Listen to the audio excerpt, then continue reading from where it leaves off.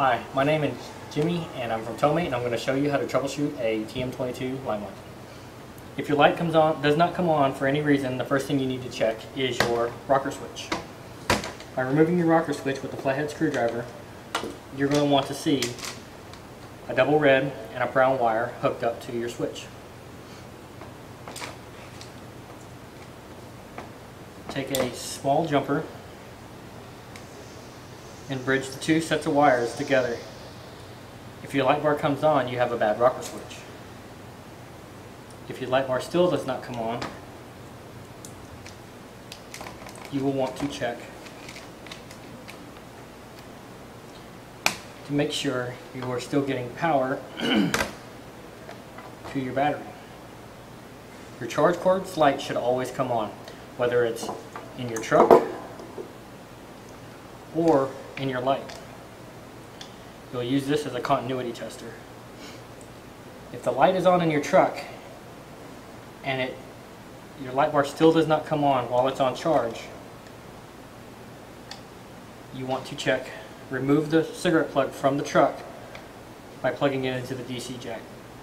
If the DC jack is installed to the charge and this light is not on, the next thing you want to check is the fuse located on the battery side. To check the fuse, you'll want to remove the two 6 by half screws and remove the end cap.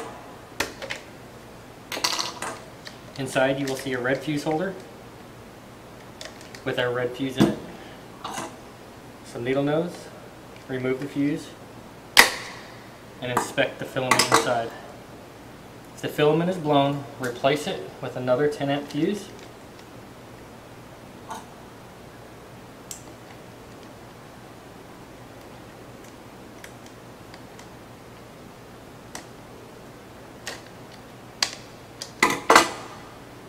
Power on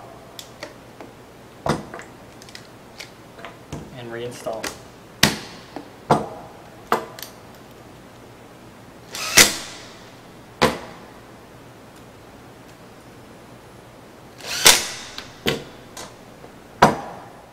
Troubleshooting our light duty lights are all pretty common.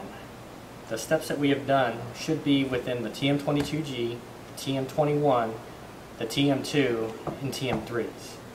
If you have any further questions or concerns, you can call our 800 number, 800-680-4455, or visit our website at www.towmate.com.